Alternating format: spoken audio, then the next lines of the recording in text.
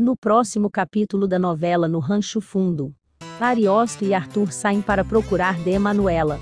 Seu Tico Leonel se depara com Quinota, tia Salete e Zefa Leonel na casa de Ariosto. Arthur encontra de Manuela no córrego, descalça e deitada de olhos fechados. De Manuela abre os olhos, está calma e serena. Arthur fica aos prantos. Zé Beltino pede Blandina em casamento. Blandina fica fascinada pela aliança de pedras preciosas e coloca, ela mesma, a aliança no dedo. Sabá pede divórcio e Nivalda leva um susto. Ariosto agradece a presença de Zefa Leonel na sua casa, e seu Tico fica com ciúme.